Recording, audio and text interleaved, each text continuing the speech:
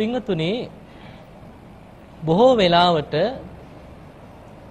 මේ ජීවත් වෙලා ඉන්න කාලේ අපිට විශාල පිනක් කරගන්න අවස්ථාව තියෙනවා.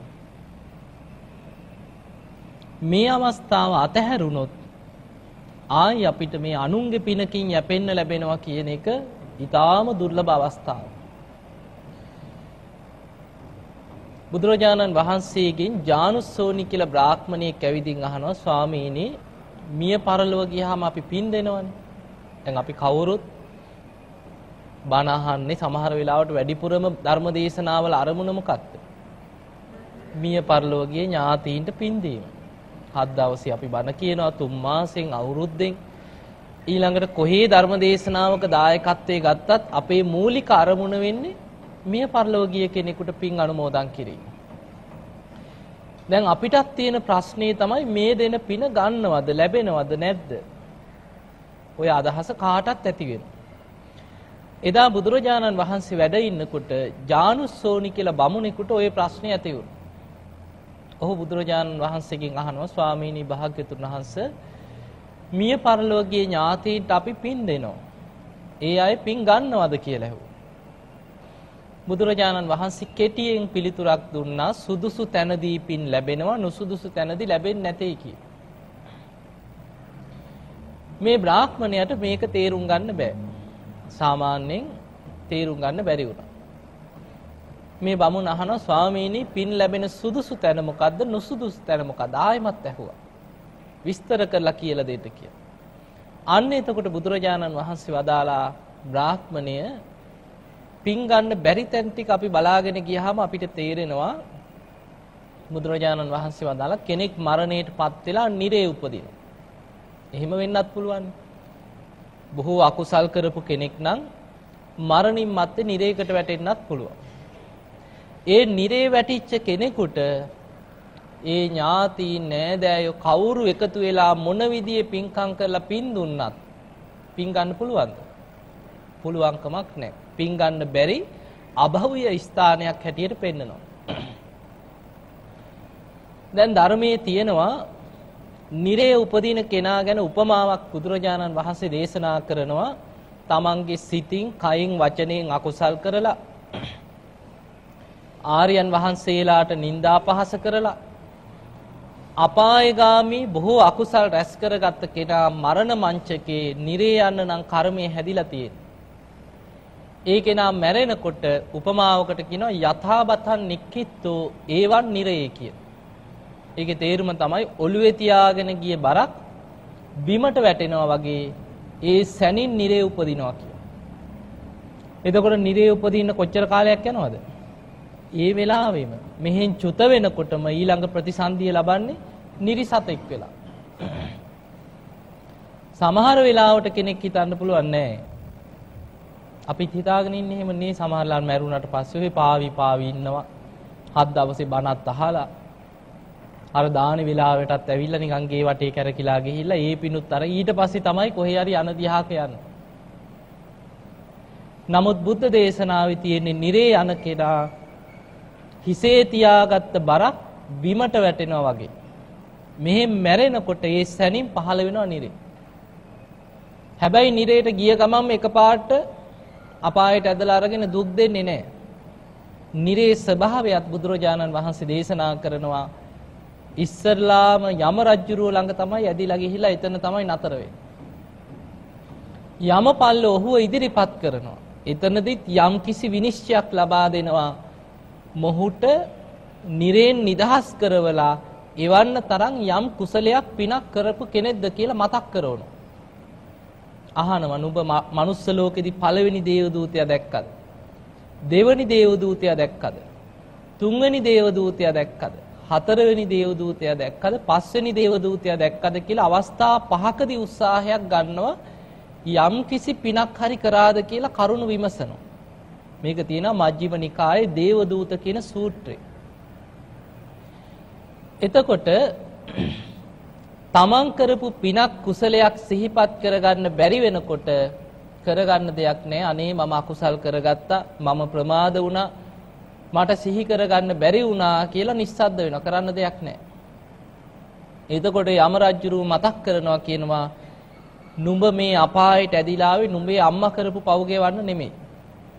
නුඹේ තාත්තා කරපු අකුසලයක් නිසා ආව නෙමෙයි. නුඹේ නෑදෑයෝ ඥාති මිත්‍රයෝ යාළුවෝ හිතවතු කවුරුත් කරපු කර්ම ගෙවන්න ආවන් නෙමෙයි. නුඹ විසින් කරපු මේ මේ මේ මේ වගේ අකුසල් නිසායි කියන අපායට ආවේ. මෙහිදී නම් බේරෙන්න පුළුවන්. මේ මේ අය නිසා තමයි මට මේක උනේ. මුන් තමයි මේ ඔක්කොම කරේ. අනුන්ගේ පිටින් තියලා බේරෙනව නේද? එතනදි බෑ. එතනදි හෘද සාක්ෂියට එකඟව නිරුත්තර වෙනවා. අන්තිමට බේර ගන්න අතක් නැති වෙනකොට යම රජුරෝ නිහඬ වෙනකොට පස්වෙනි අවස්ථාවේදී බේර ගන්න බැරි වෙනවා. ඊට පස්සේ තමයි යමපල්ලු ඇතුළට ඇදලා ගන්න. එතනින් පස්සේ නිරේ තුල ලැබෙන දුක් ටික දේවදූත සූත්‍රයේ දීර්ඝ වශයෙන් විස්තර කරනවා. ඒවා එකින් එක එකින් එක විමසගෙන විමසගෙන යනකොට නිකන් ඇඟ හිරි වැටෙනවා මේ තරම් දුක් පීඩා ලැබෙනවාද කියලා. මිදීමක් නැහැ. එතනම මෙරි මෙරි පහළ වෙනවා. ඕපපාතික උපතක් නේ. දැන් මිනිස්සෙක් වගේ ගොරෝසු කයක් නම් තිරිසන් සතෙක් වගේ ශරීරයක් නම් ඒ ශරීරේ එතනින් මැරෙනකොට මෙතනින් විඥානේ බැහැරට යනවා. නමුත් ඕපපාතික සත්වයේ ශාරීරික ස්වභාවය එතනම විනාශ වෙලා ආයෙ එතනම පහළ වෙනවා. සමහර වෙලාවට ගින්නෙන් පිච්චෙනකොට එතනම උණු වෙලා යනවා ආයෙ එතනින් ඒ සනින් එතන පහළ වෙනවා. එතකොට නිරේ තුල මේ අවුරුදු දෙකක් පහක් 10ක් 20ක් 100ක් නෙමෙයි. සමහරු කල්ප ගණන් නිරේ දුක් විඳිනවා. එතකොට නිරේ ඉපදිච්ච නිරිසත්වේකුට කොච්චර අපි මෙහි පින් දුන්නත් පින් ගන්න පුළුවන්ද? පුළුවන්කමක් නැහැ. සමහර වෙලාවට මෙහි පාංශකූල දෙනකොට එහි ලෝදිය බොනවා. කරගන්න පුළුවන්කමක් නැහැ. පින් දීලා ගොඩ ගන්න බෑ. ඊළඟට බුදුරජාණන් වහන්සේ ජානුස්සෝනි බ්‍රාහ්මණයට පෙන්නනවා බ්‍රාහ්මණය යම් කිසි කෙනෙකුට මරණ මංචකේ තිරිසන් ලෝක යන අකුසලයක් බලවත් වුණොත් එහෙම වෙන්න පුළුවන්. දැන් අපි හිතමු නිකන් දැන් අපි මේ බණහන අය අතර දැන් ඔබ ගැන හිතන්න ඔබ. සෝතාපන්න ඵලයටපත් වෙලා නැත්නම් ඕනම වෙලාවක මරණයටපත් වෙලා නිරේට ඔබ අරගෙන යන කෙලෙස් ඔබේ හිත අභ්‍යන්තරයේ තියෙනවා. මරණ මංචකේ පෙර කරපු අකුසලයක් හරි බලවත් වෙලා තිරිසන් ලෝකේ ඔබ උපද්දවන කෙලෙස් ඔබේ හිත ඇතුළෙම තියෙනවා. പ്രേත ලෝකේ, අමනුස්ස ලෝකේ ඇදගෙන යන අකුසල් ඔබේ චිත්ත අභ්‍යන්තරයේ තියෙනවා. මේ අපායগামী අකුසල් ප්‍රහාණය වෙන්නේ සෝවාන් ඵලයට පත්වීමත් සමග. එතකොට ඊතකම්ම මේ අනතුරු තියෙනවා. ඕනෑම වෙලාවක මරණයටපත් වෙලා නිරේට ඇදිලා යන්න පුළුවන්, තිරිසන් ලෝකෙට ඇදිලා යන්න පුළුවන්, പ്രേත ලෝකයකට වැටෙන්න පුළුවන්. සතර අපායට යන්න තියෙන ඉඩකඩ බුදුරජාණන් වහන්සේ පෙන්වුවේ හරියට මහගෙදරට කෙනෙක් යනවා වගේ කියලා. සාමාන්‍ය ලෝකේ මිනිස්සෙක් වැඩිපුරම ජීවත් වෙන්නේ මහගෙදරක. තමන්ගේ ගෙදර. කලාතුරකින් තමයි බඩුවක් මුට්ටුවක් ගෙන නගරයකට යන්නේ. රසාවට ගියත් හවස් වෙනකොට ගෙදර එනවනේ. එතකොට අන්න ඒ වගේ කියනවා මේ දීර්ඝ සංසාරේ යන සත්‍ය වැඩිපුරම ඉඳලා තියෙන්නේ මහගෙදර වගේ කියනවා සතර අපාය. එතකොට බුදුරජාණන් වහන්සේ දේශනා කරනවා තිරිසං අපායට වැටුණොත් පින් දුන්නා කියලා පින් ගන්න පුළුවන්ද? පින් ගන්න බෑ. ඇයි දන්නේ නැහැ? තිරිසන් සතුන්ට තේරෙනවද මේ අපේ ඥාතීන් දැන් අපිට පින් දෙනවා කියලා සාදු සාදු කියලා අනුමෝදන් වෙන්න දන්නවද තිරිසන් සත්තු? දන්නේ නැහැ. එහෙම වෙන්න පුළුවන්. බුද්ධ දේශනාවලම තියෙනවා එක සිටුවරේ මරණයටපත් වෙලා ඒ සිටු මැදුරේම බල්ලෙක් වෙලා ඉපදුනා. අහලා ඇතිනේ? එතකොට ඒ වගේ සිදුවීම් දේශනාවල තියෙනවා ඕන තරම්. එතකොට එහෙම කෙනෙකුට පින් දුන්නා කියලා පින් ලබාගෙන සුවපත් වෙන්න හෝ ඒ ආත්මෙන් පෙර කරපු කුසලයක් හරි බලවත් කරගෙන මිදෙන්න පුළුවන් කමක් නැහැ. ඊළඟට අපි ගමු කෙනෙක් මරණයටපත් වෙලා പ്രേත ලෝකේ උපදිනවා. හැම പ്രേතේකුටම පින් ගන්න පුළුවන්ද? කොහොමද අහලා තියෙන්නේ? පින් ගන්න පුළුවන් කමක් නැහැ. පරදත් රූප කියන പ്രേත කොටාසයක ඉපදිච්ච කෙනෙක් විතරයි පින් ගන්න. ධර්මයේ තියෙනවා සමහර പ്രേතයෝ ඉන්නවා නිජ්ජාම තන්හික කියලා പ്രേත කොටසක්. බඩකින්නෙන් පිපාසයෙන් මුළු ඇඟම පිච්චෙනවා කියන. උපමාවකට පෙන්නනවා රත් වෙච්ච ගල් තලාවක් මතට උණ දලු ටිකක් කපලා දානවා. ටික වෙලාවකින් වේලිලා ඇකිලිලා යනවා අර ටික. අර ගල් තලාවේ තියෙන රස්නෙට. අන්න ඒ වගේ කියනවා කුසගින්නයි පිපාසයයි නිසා මේ ප්‍රේතිය උඩු බැලි අතට වැතිරිලා කෑ ගහනවා විලාප දෙනවා කියනවා බඩකින්නට. හැබැයි තමන්ගේ ඥාතීන් කොයිතරම් පින් දෙන්න උත්සාහ කරත් පින් ගන්න බෑ කියන. ඇයි අකුසලයේ තමයි පිනට ගැරහීමේ අකුසලයේ. දැන් manuss ලෝකේ ඉන්නවා සමහරු පිනට බනිනවා. මොකටද උඹලා පින් කරන්නේ? කවුරු හරි පින් කරනකොට ඒක වළක්වනවා. පිනට ගරහනවා. දන් පෑන් දෙන ඒවා පින්කම් කඩාකප්පල් කරන්න වැඩ කරන. එතකොට එවැනි කෙනෙක් බැරි වෙලාවත් പ്രേත ලෝකයකට වැටුණත් පින් ගන්න බැරි තැනක තමයි උපදින. ওই නිජ්ජාම තණ්හික වගේ പ്രേත කොටාසයක උපදින. පිනට ගැරහීමේ විපාකයේ මත පින් දුන්නත් පින් ගන්න බෑ. අකුසලයේ බලවත්. එතකොට ඒ වගේ പ്രേතයෝ ඉන්න. තව ඉන්නවා කුණු පාස කියලා പ്രേත කොටසක්. බුද්ධ දේශනාවල සඳහන් වෙනවා එවැනි പ്രേතයන්ගේ ආහාර තමයි මිනිස්සු දෙන පින් අරගෙන ආහාර පහළ වෙන්නේ නැහැ. පින් අරගෙන අනුමෝදන් වෙලා සැප ලබන්න බෑ. ඒ අයට යමක් ආහාර කරගන්න පුළුවන්. එකම දේ තමයි මලකුණු වල ඕජාව. ඒ නිසා කුණු පාස කියලා මේ പ്രേතයන් හඳුන්වනවා. මලමිනී කුණු වෙලා යනකොට ඊවැය ගදාගෙන යන අර ඕජාව ඊළඟට මිනී පිච්චෙනකොට උතුරලා යන උරුණු තෙල් ඒවා උරා බොඩු ආග්‍රහණය කරන. මිනිස්සුයෝගෙන් කනවා වගේ කෑම කනවා නෙමෙයි ආග්‍රහණය කරන. උරා බීලා ඒ තුලින් කුසගින්න පිපාසය නැති කරගන්න. එවැනි ප්‍රේතයන් ඔය සොහොන් ඇසුරු කරගෙන මිනි කපන තැන් මිනි පුච්චන තැන් එවැනි තැන් ඇසුරු කරගෙන ජීවත් කුණු පාස කියන ප්‍රේත පින් ගන්න බෑ. ඊළඟට ධර්මයේ පෙන්නනවා ගූතකාදක කියලා പ്രേත කොටසක් විස්තර කරනවා. പ്രേත වත්වේ තියෙනවා එවැනි සිදුවීම් ගණනාවක් പ്രേතයෝ ගැන. එවැනි പ്രേතයන්ට මලකුණු ආහාර කරගන්නත් බෑ. එකම දේ තමයි අසුචි. එක්ක මිනිස්යංග වෙන්න පුළුවන් තිරිසන් සතුන්ගේ වෙන්න පුළුවන් අර අසූචි වල දුර්ගන්ධය ආග්‍රහණය කරලා කුසගින්න පිපාසය සංසිඳව ගන්න. එවැනි പ്രേතයන් වැසිකිලි වලවල් වල එවැනි තැන්වල තමයි පහළ එතකොට බලන්න තව ඉන්නවා പ്രേත කොටස් ගොඩක් විමාන പ്രേතයෝ කියලා ඉන්නවා. නොඑක් විදියේ പ്രേත කොටස් ගණනාවක් අතරින් පරදත්තූප කියන പ്രേත කොටසට විතරයි කියන පිනක් ගන්න පුළුවන්. තමන්ගේ ඥාතීන් දැන් මට පිනක් අනුමෝදන් කරයි. අනේ මගේ ඥාතීන් දැන් මට පින් දෙයි කියලා හැම වෙලාවෙම අනුන්ගේ පිනක් ලැබෙනකම් බලාගෙන ඉන්න പ്രേත කොටාසය. අන්නේ බලාගෙන ඉන්න പ്രേතයෝ පින්දහම් කරලා පින් අනුමෝදන් කරනකොට ඒක බලාගෙන ඉක්මනින් සාදු සාදු කියලා ඉක්මනින් ඒක අනුමෝදන් වෙනකොටම සැප පහළ වෙනවා. එතකොට ඒක ඒ ප්‍රේතයෙකුට විතරයි ඒ දේ ගන්න පුළුවන්. මේ ප්‍රේතයන් ගැන ධර්මයේ තියෙන බොහොම පුදුම සිදුවීම් ටිකක්. අපිට මේ සංසාර බය ඇති කරගන්න අපි ජීවත් වෙන ලෝකයේ තියෙන අනතුරු තේරුම් ගන්න ඉතාම වැදගත්. මීට කල්ප 92කට කලින් බුදුරජාණන් වහන්සේ නමක් ලෝකේ පහළ වෙලා වැඩ ඉන්නකොට ඒ බුදුරජාණන් වහන්සේගේ ගිහි ජීවිතේ පියාණන් රජ කෙනෙක්. දැන් අපි සරණ ගිය බුදුරජාණන් වහන්සේගේ පියාත් සුද්ධෝදන රජුරුවනේ රජ කෙනෙක්. එතකොට ඒ රජතුමා එදා බුද්ධ ප්‍රමුඛ ලක්ෂයක් සංඝයාට දවස ගානේ දන් දුන්නා. බුද්ධ ප්‍රමුඛ ලක්ෂයක් සංඝයාට දවස ගානේ රජමාලිගාව ඉදිරියේ වෙනම දානශාලාවල් හදලා මණ්ඩප හදලා සම්පූර්ණ දවස ගානේ දන් පෑන් දෙනවා.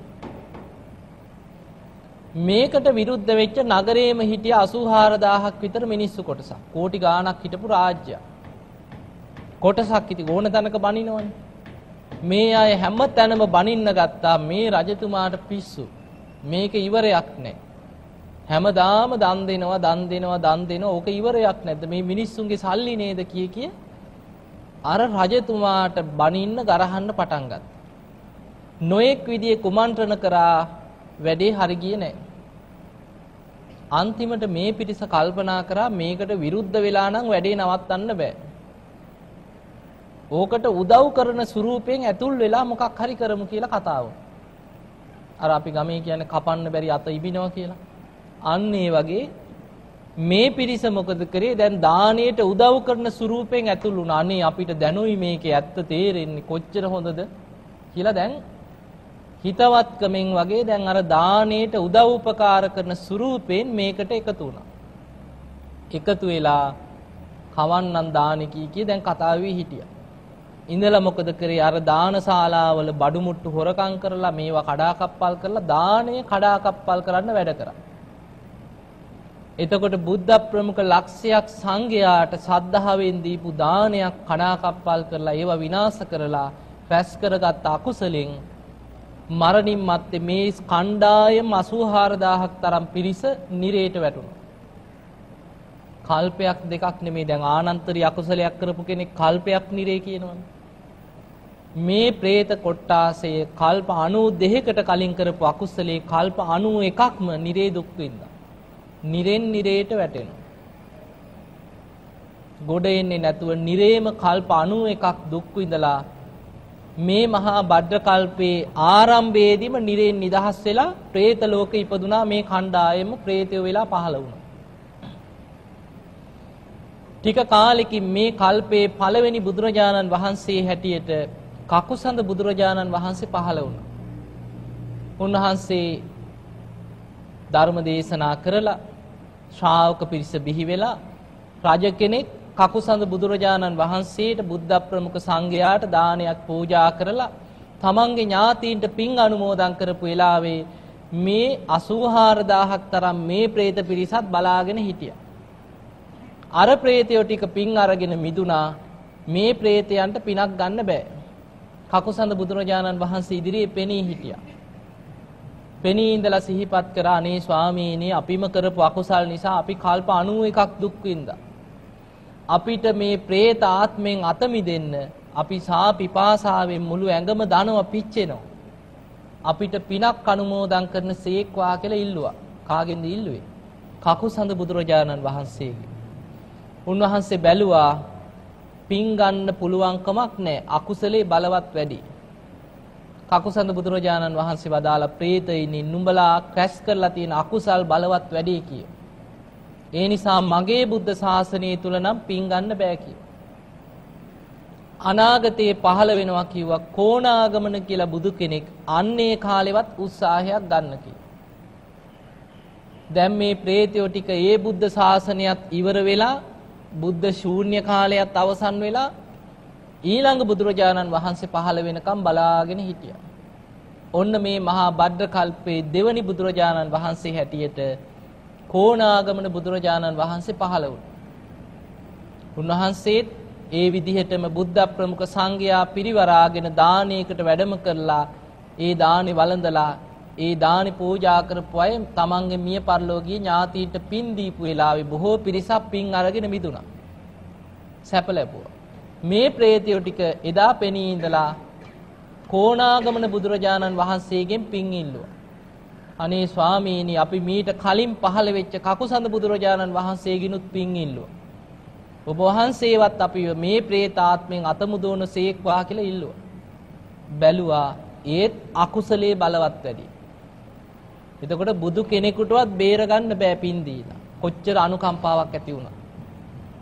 කෝණාගමන බුදුරජාණන් වහන්සේ දේශනා කරා പ്രേතයිනි නුඹලා කරලා තියෙන අකුසල් බොහොම බලවත් කියලා. ඒ නිසා මගේ බුද්ධ ශාසනය තුලත් පින් ගන්න බෑ කිය. අනාගතේ පහළ වෙනවා කාශ්‍යප නමින් බුදු කෙනෙක් අන්නේ කාලෙවත් උත්සාහයක් ගන්න කිය. දැන් මේ ප්‍රේතයෝ ටික ඔන්න ඊළඟ බුදුරජාණන් වහන්සේ පහළ වෙනකන් කාශ්‍යප බුදුහාමුදුරු පහළ වෙනකන් බලාගෙන හිටියා. අවුරුදු 10ක් 20ක් නෙමෙයි අවුරුදු ලක්ෂ ගානකට පස්සේ තමයි ඊළඟ බුදු කෙනෙක් පහළ වෙන්නේ. කාශ්‍යප බුදුරජාණන් වහන්සේ පහළ වෙලා ඒ බුද්ධ ප්‍රමුඛ සංඝයා පිරිවරාගෙන දානයකට වැඩම කරලා දානි වළඳලා පින් දීපු වෙලාවේ බොහෝ පිරිසක් പ്രേත ආත්මවල හිටපු අය පින් ලබාගෙන සුවපත් වුණා. මේ 84000ක් තරම් പ്രേත කොටස ඒ වෙලාවේ පෙනී ඉඳලා පින් ඉල්ලුවා. අනේ ස්වාමීනි අපි මීට කලින් පහළ වෙච්ච කකුසඳ බුදුරජාණන් වහන්සේගිනුත් පින් ඉල්ලුවා කි. කොණාගමන බුදුරජාණන් වහන්සේගිනුත් පින් ඉල්ලුවා. ස්වාමීනි ඔබ වහන්සේවත් අපිව මේ പ്രേතාත්මේ මුදවන සේක්වා කියලා ඉල්ලුවා. බැලුවා ඒත් අකුසලේ බලවත්. බලන්න කරන අකුසල් වල විපාක එනකොට කොයිතරම් විඳවන්න වෙනවද? කාශ්‍යප බුදුරජාණන් වහන්සේ වදාළ ප්‍රේතයිනි නුඹලා කරපු අකුසල් තාම බලවත් වැඩි කිය. නමුත් අනාගතේ පහළ වෙනවා කියවා ගෞතම නමින් බුදු කෙනෙක්. අන්නේ බුදුරජාණන් වහන්සේගේ කාලේ බිම්බිසාර නමින් කෙනෙක් රජකම් කරනවා ඔබේ සංසාරික ඥාතිවරයෙක් කීවා. අන්නේ රජතුමා තමන්ගේ රාජකීය උද්‍යානයේ වේල්වනාරාමේ බුද්ධ ප්‍රමුඛ සංඝයාටම සංඝ සතු කරලා කුටි සෙනසුන් හදලා ආරාම පූජාවක් කරලා දන් දෙනවා. අන්නේ වෙලාවේ පින් අනුමෝදන් කරනකොට ඒ පින් අනුමෝදන් වෙලා මිදෙන්න කියනවා. අන්න ඒක නම් ගන්න පුළුවන් කියනවා. නමුත් මගේ බුද්ධ ශාසනය නම් පින් ගන්න බෑ කියලා කාශ්‍යප බුදුරජාණන් වහන්සේ දේශනා කරා. එතකොට මේ ප්‍රේතයෝ ටික 84000ක් තරම් ප්‍රේත කොටස ඊළඟ බුදුරජාණන් වහන්සේ පහළ වෙනකම් බලාගෙන හිටියා. එතකොට බලන්න මේ මහා භද්‍ර කල්පයේ කකුසඳ කෝණාගමන කාශ්‍යප බුදුරජාණන් වහන්සේලාත් කිනුත් පින් ඉල්ලලා ගෞතම බුදුහාමුදුරුව පහළ වෙනකුනුත් බලාගෙන හිටියා පින් ගන්න. එදා ගෞතම බුදුරජාණන් වහන්සේ බුද්ධත්වයට පත් වෙලා බිම්බිසාර රජතුමාට වෙච්ච පොරොන්දුව ඉෂ්ට කරන්න උරුවෙල් දනව්වට වැඩම කරලා උරුවෙල් කාශ්‍යප නදී කාශ්‍යප ගයා කාශ්‍යප කියන තුම්බෑ ජටිලයන් සමග 1000ක් දෙනා ධර්ම දේශනා කළ අරහත්ත්වයට පත් කරලා ඒ සියලු දෙනාටම ඒහි බික්කු භාවයෙන් පැවිදි උපසම්පදාව ලබා දීලා බුද්ධ ප්‍රමුඛ 1000ක් සංඝයා පිරිවරාගෙන රජගහ නුවරට වැඩම කරා. එදා බිම්බිසාර රජතුමා බණහලා පළවෙනි දවසේම සෝවාන් ඵලයටපත් වුණා. රජතුමා තමන්ගේ රාජකීය උයන උද්‍යානයේ බුද්ධ ප්‍රමුඛ සංඝයාට පූජා කරා. බුදුරජාණන් වහන්සේ පිළිගත්තා.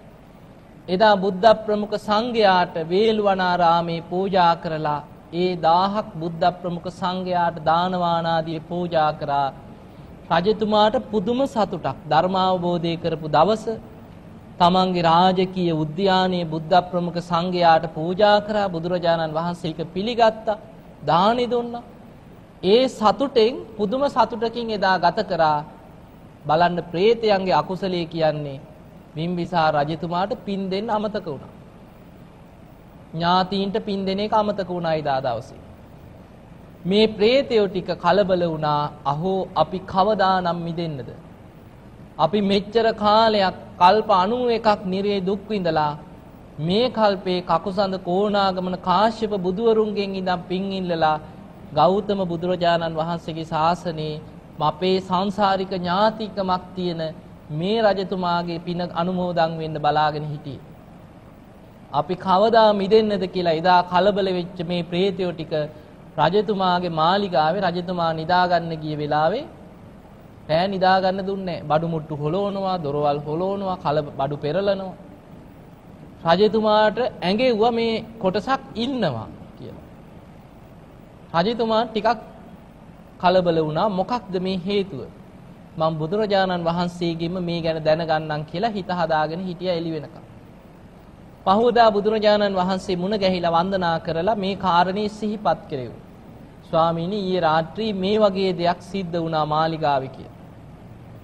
අන්න එතකොට බුදුරජාණන් වහන්සේ ওই ඉතිහාස කතාව අතීත කතා පුවත දේශනා කළ බුදුරජාණන් වහන්සේ වදාලා රජතුමනි ඔබේ සංසාරික ඥාති වන පිරිසක් කීව. ওই 84000ක් තරම් පිරිසක් പ്രേත ලෝකෙට වැටලා ඒ අය පින් ගන්න බලාගෙන ඉන්නවා. ඥාතීන්ට අනුග්‍රහ පිණිස ඒ අයට පිනක් අනුමෝදන් කරන සීක්වා කියලා බුදුරජාණන් වහන්සේ සිහිපත් කළා. ඒ වෙලේ රජතුමා බුද්ධ ප්‍රමුඛ සංඝයාට දවස් 7ක් රජමාලිගාවට දාණයට ආරාධනා කරා ඥාතීන්ට අනුග්‍රහ පිණිස ස්වාමීනි භාග්‍යතුන් වහන්සේ මගේ රජමාලිගාවේ දාණයට දින 7ක්ම සංඝ පිරිස පිරිවරාගෙන වැඩම කරන සීක්වා බුදුරජාණන් වහන්සේ පිළිගත්තා. එදා බුදුරජාණන් වහන්සේ රජතුමාගේ මාලිගාවේ දාණයට වැඩම කරපු වෙලාවේ දානි බෙදන්න කලින්ම බුදුරජාණන් වහන්සේ අදිෂ්ඨානයක් කරා රජතුමාට මේ ප්‍රේතයන්ව පෙනේවා කියලා අදිෂ්ඨානයක් කරා. ඒ බුද්ධ අදිෂ්ඨානයේ මත අර പ്രേත කොටස රජතුමාට පෙනෙන්න පටන් ගත්තා. ඇට සැකිලි වගේ හැම ඇඟට ඇලිලා මස් නෑගේ. කුසගින්නෙන් පිපාසෙන් ඇඟේ වස්ත්‍රයක් නැහැ ඇකිලිලා උණ්ඩි වෙලා එකට එක ඉන්නවා දහස් ගානක පිරිසක් පින් ගන්න බලාගෙන ඉන්නවා බුදුරජාණන් වහන්සේ වදාළ රජතුමනි දානි පූජා කරනකොට ඉදම් මේ ඥාතීනං හෝතු මේ පින මගේ ඥාතීන්ට සංසාරික ඥාතීන් යමක් පින් ගන්න බලාගෙන ඉන්නේ යම් පිරිසක් ඉන්නවා නම් මේ පින අනුමෝදන් වේවා කියලා හිතන්න කියලා. පෑම් පූජා කරනකොටත් ඥාතීන්ට පින් දෙන්න කියලා. සිවුරු පිරිකර පූජා කරනකොටත් ඒ ඥාතීන්ට පින් දෙන්න කියලා. ඒ විදිහටම රජතුමා දානේ පූජා කරලා ඥාතීන්ට පින් දෙනකොට කුසගින්න නැති වුණාර ප්‍රේතයක් පින් අනුමෝදන් වෙලා. පෑන් පූජා කරලා ඥාතීන්ට පින් දෙනකොට පිපාසය නැති වුණා. අර පින් අනුමෝදන් වෙලා. සිවුරු පූජා කරලා පින් දෙනවත් සමගම අර ප්‍රේතයන්ට වස්ත්‍ර පහළ වුණා. එදා බුදුරජාණන් වහන්සේ තිරෝකුඩ්ඩ කියන සූත්‍ර දේශනාවෙන් දහම් දෙසුවා. තිරෝකුඩ්ඩ කියන සූත්‍රය ඒකේ තියෙන්නේ මිය පරලොව ගිහින් ඒ ඥාතීන් പ്രേත ලෝක වලට වැටුණට පස්සේ ඒ අයට පින් ලැබෙන ආකාරය තමයි මේ දේශනාවේ තියෙන්නේ. අපි කවුරුත් අහලා තියෙනවා. දැන් ඔබත් අහලා ඇති. පැන් වඩනකොට ස්වාමින් වහන්සේලා කියන්නේ යතා වාහරි වහා පූරා පරිපූර්ෙන්ති සාගරං ඒව මේව ඊතෝ දින්නම් පේතානං උපතප්පති උන්න මේ උදකං වඩ්ඩං යතා දින්නම් පවත්තති අහලා තියෙනවනේ. අන්නේ ගාථාව තියෙන්නේ තිරෝකුඩ සූත්‍රය. ඒකේ තියෙන්නේ මිය පරලෝකීය ඥාතීන්ට පින් අනුමෝදන් කරනකොට ඒ පින ලැබෙන ආකාරය තමයි ඒකේ තියෙන්නේ. එතකොට බුදුරජාණන් වහන්සේ දවස් 7ක්ම ඔය විදිහට ඒ බිම්බිසාර රජතුමාගේ මාලිකාවේ දාණයට වැඩම කරලා දවස් 7ේදීම ওই දේශනාව 7 දවසක් ඒ දේශනාවම දේශනා කරා. 7 වෙනි දවසේ අර පින අනුමෝදන් වෙලා අනුමෝදන් වෙලා අනුමෝදන් වෙලා අර අකුසලයේ ගෙවිලා අවසන් වෙනකොට පින බලවත් වෙලා අර ප්‍රේතයෝ ටික එතනින් නිදහස් වුණා. එතකොට අපිට පේනවා මැරුණට පස්සේ මේ කවුරු හරි දෙන පිනක් අනුමෝදන් වෙනවා කියන එක ලේසි දෙයක්ද? අමාරු දෙයක්. ඒ නිසා പ്രേතාත්මිකට වැටුණත් පින් ගන්න පුළුවන්කම ලැබෙන්නේ ඊටාම සුළු പ്രേත කොට්ටාසයකට විතරයි. පරදත්තූප කියන പ്രേත කොට්ටාසයකට විතරයි. ඊළඟට ජානුස්සෝනි කියන බ්‍රාහ්මණයාට බුදුරජාන් වහන්සේ පෙන්නවා මනුස්ස ලෝකෙ කෙනෙක් උපදිනවා. දැන් මැරිලා ඔක්කොම අපායෙම යන්නේ නැහැනේ. සුගතියෙන්නත් පුළුවන් නේ. ඒකට මනුස්ස ලෝකෙ උපදිච්ච කෙනෙකුට පින් දෙනවා. පින් ගන්න පුළුවන්ද? දැන් ඔබ හිතන්න ඔබ ගැන. ඔබේ පෙර ජීවිතේ ඔබත් කලින් ජීවිතේ මනුස්ස ලෝකෙම ඉඳලා ආයි ඉපදුනා නම් ඔබේ පෙර ජීවිතේ ඥාතීන් දැන් පින්කම් කරනවා වෙන්න පුළුවන්. අනේ අපේ තාත්තා අපේ අම්මා නැති වෙලා දැන් අවුරුදු 50යි. අවුරුදු 20යි 30යි 40යි කියලා එහෙ පින්කම් කරනවා කියලා හිතමු. ඔබ දන්නවද සාදු සාදු කියලා අනුමෝදන් වෙන්නේ? දන්නේ නැහැ.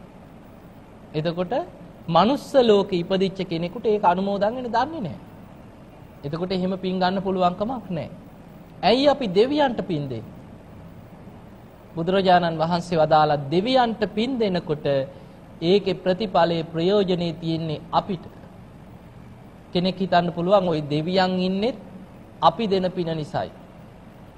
දෙවියන්ට දිව්‍ය විමාන පහළ වෙන්නේ, දිව්‍ය භෝජන ලැබෙන්නේ, දිව්‍ය වස්ත්‍ර පහළ වෙන්නේ, දෙවියන් දිව්‍ය ලෝකයේ විමාන මවාගෙන සැප විඳින්නේ මේ අපේ පිනකින් නෙමෙයි.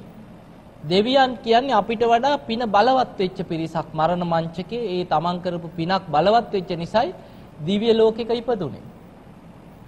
එතකොට අපි පින් දහම් කරලා දෙවියන්ට පින් දෙනකොට දෙවිවරු සතුටු වෙනවා කියලා.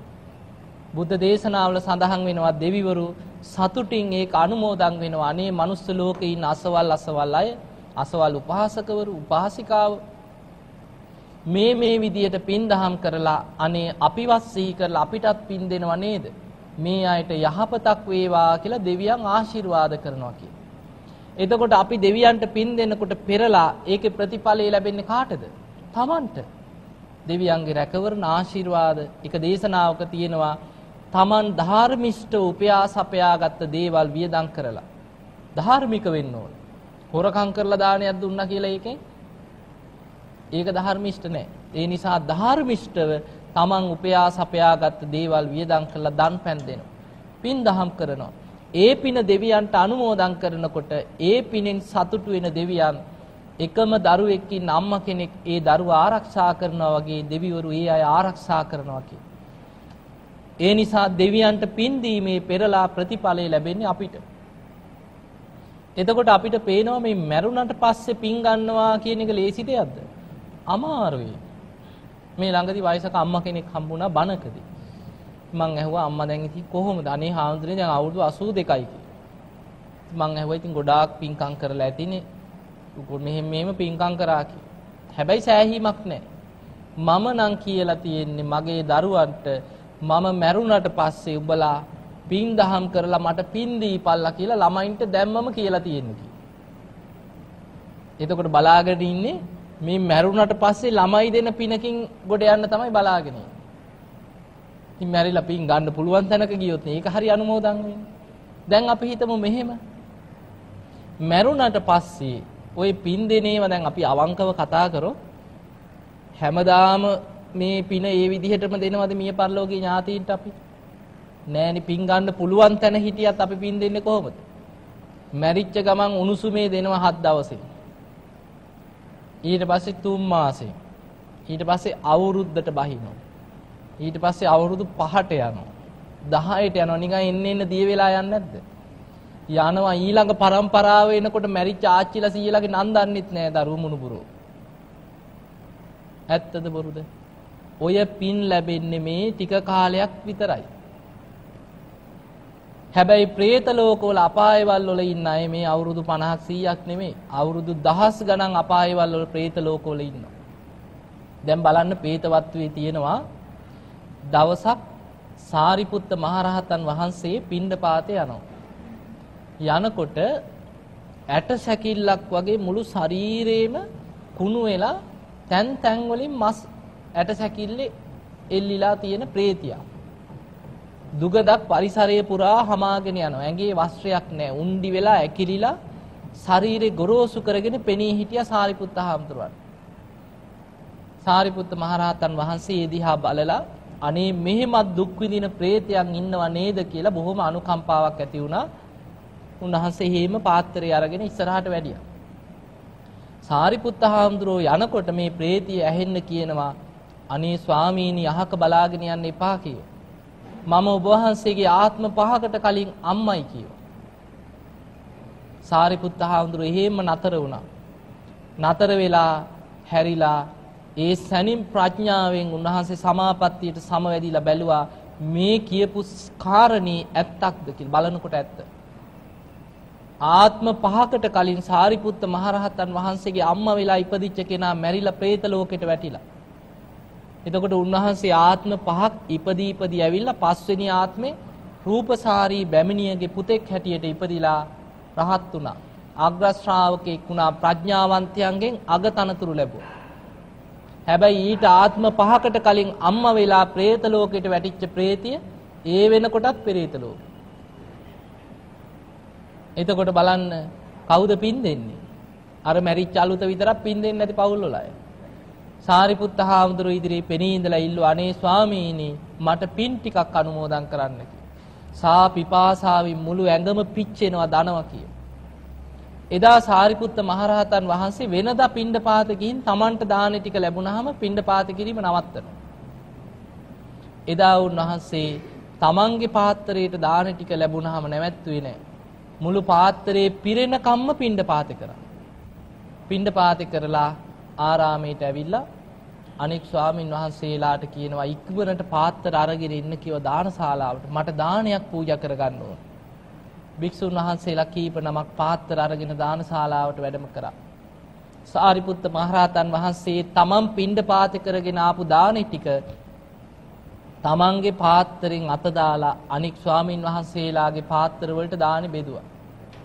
එහෙම දානි පූජා කරලා ඒ පින අනුමෝදන් කරා මේ දානමේ පින මම පින්ඩපාතේ ගිහින් මට ලැබිච්ච දාන ටික මම පූජා කරලා මේ රැස් වෙච්ච දානමේ පින මීට ආත්ම පහකට පෙර අම්මා වෙලා ඉඳලා പ്രേත ලෝකේ වැටිලා දුක් විඳින මේ പ്രേතියට අනුමෝදන් වේවා සුවපත් වේවා සැපවත් වේවා කියලා පින් දුන්. අන්නේ පින ලැබිලා අර പ്രേත ලෝකේ සාපිපාසාව නැති වෙලා ගියා කියලා සඳහන් වෙනවා. මේක තියෙනවා පේතවත්වයේ සාරිපුත්ත මාතා පේතවත්ව නමින් තියෙනවා. එතකොට එවැනි කරුණු අනුව අපිට පේනවා මේ പ്രേත ලෝකයකට වැටුණ කෙනෙක් අපායකට වැටිච්ච කෙනෙකුට ඒ මැරිච්ච අලුත සමායට අවුරුදු 10ක් 15ක් යනකම් විතරයි ওই පින්දහම් ටිකක් හරි නෑදෑයන්ගෙන් දරුමුණු මුරංගෙන් ලැබෙන්නේ. එතනින් එහාට යන්න යන්න මිය පරලෝකීය ඥාතීන් ගැන එහෙම මතකයක් නෑ.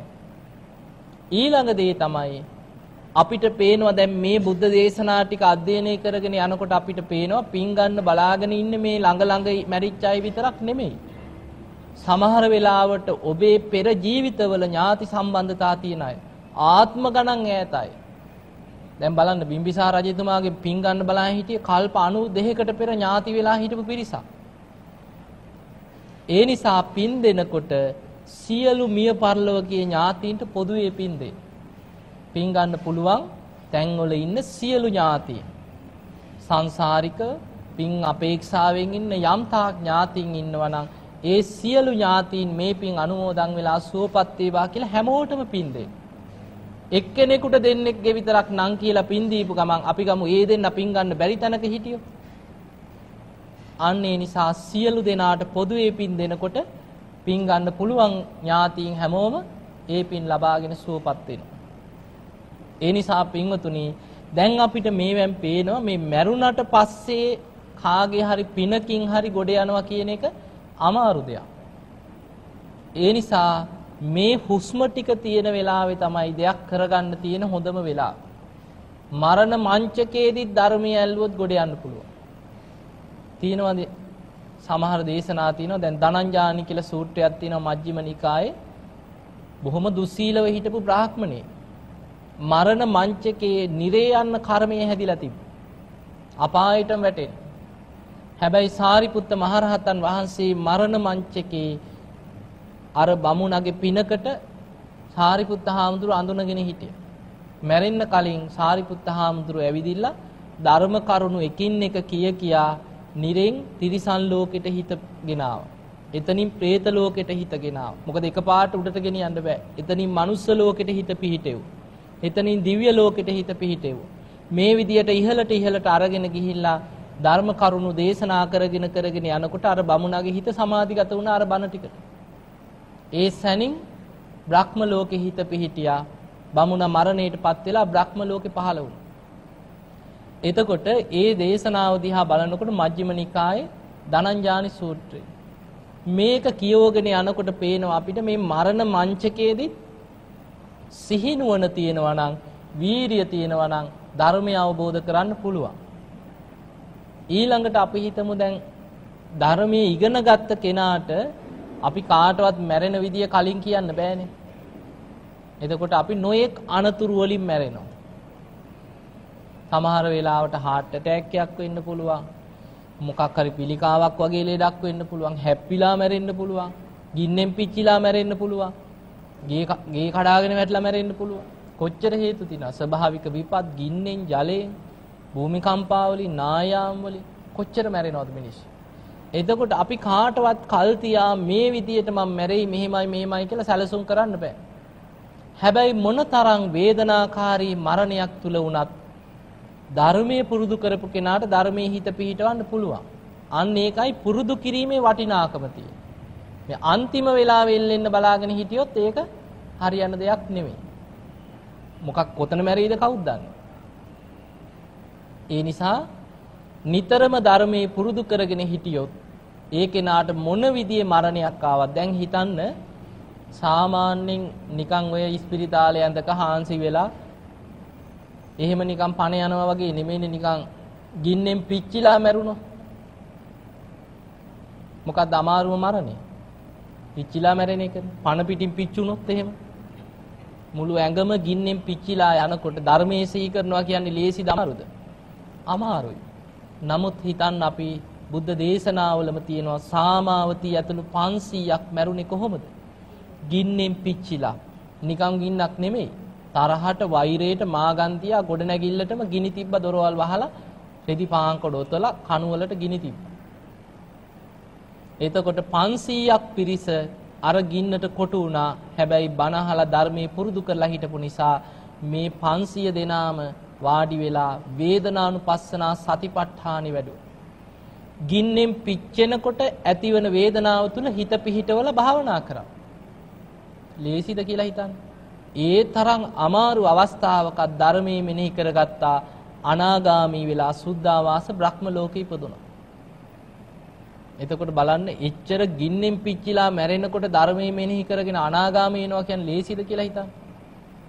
නමුත් ධර්මයේ පුරුදු කරපු කෙනාට කොච්චර ප්‍රතිඵලයක් ගන්න පුළුවන්. ඊළඟට තව අපි ගමු නිකන් ගුටි කාලා මැරෙන්න වුණොත් එහෙමත් වෙන්න පුළුවන් නේ. කියන්න බෑනේ. අමාරු දෙයක්. හිතත් විසිරෙනවා තරහ යනවා කලබල වෙනවා. හැබැයි හිතන්න බිම්බිසාර රජතුමා මැරුණේ කොහොමද කියලා. තමන්ගේම පුතා මේ වෙන කවුරුත් ගහලා නෙමෙයි. තමන්ගේම පුතා කන්න නොදී හිර කරලා තිබ්බා මැරෙනකම්. හිරගේක.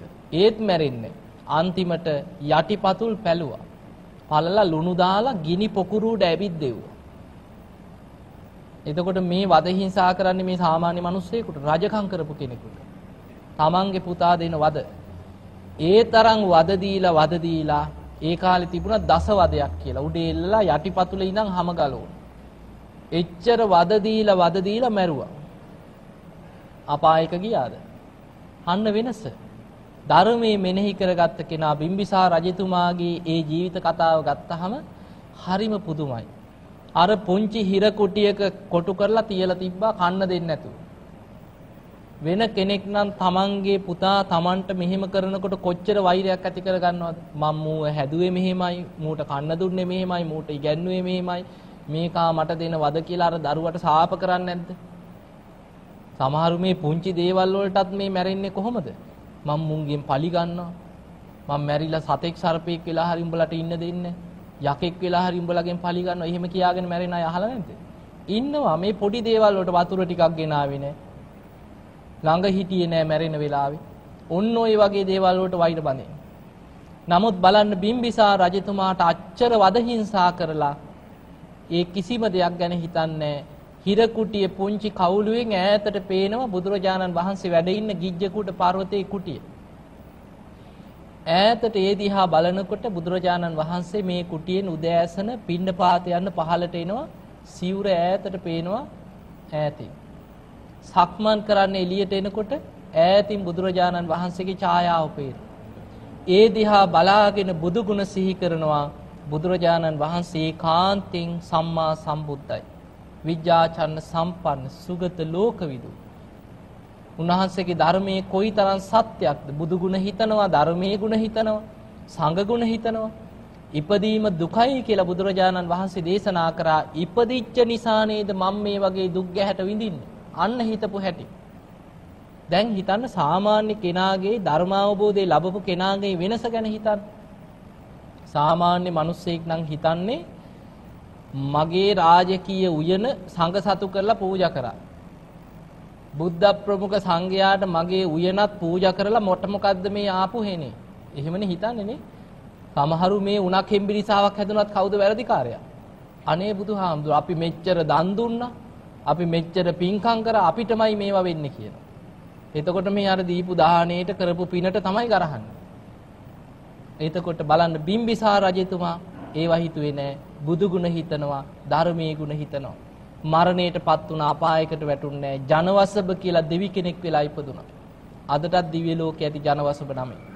දීඝනිකායේ තියෙනවා ජනවසබ කියලා සූත්‍රයක්. බුදුරජාණන් වහන්සේ ඉදිරියේ පෙනී ඉඳලා මේ දෙවියන් කියනවා ස්වාමීනි මන් දැන් සකදාගාමි වෙන්න භාවනා කරනවා මහන්සි ගන්නවා කියවා දිව්‍ය ලෝකේ ඉඳන්. අන්න ධර්මාවබෝධය ලැබපු කෙනාගේ වෙනස. ඒ නිසා පින්වතුනි ඔය කියපු කරුණු සියල්ල දැඩිව හිතට අරගෙන අදිෂ්ඨානයක් ඇති කරගන්න මම මැරෙනකන් මේ කාගේවත් පිනකින් ගොඩ යන්න බලාගෙන ඉන්නේ මේ හුස්ම ටික තියෙන වෙලාවේ මේ ජීවිතය අවසන් වෙන්න කලින් මම අප්‍රමාදීව ධර්මයේම අවබෝධ කරගන්න මහන්සි ගන්නවා කියන අදිෂ්ඨානය ඇති කරගන්න.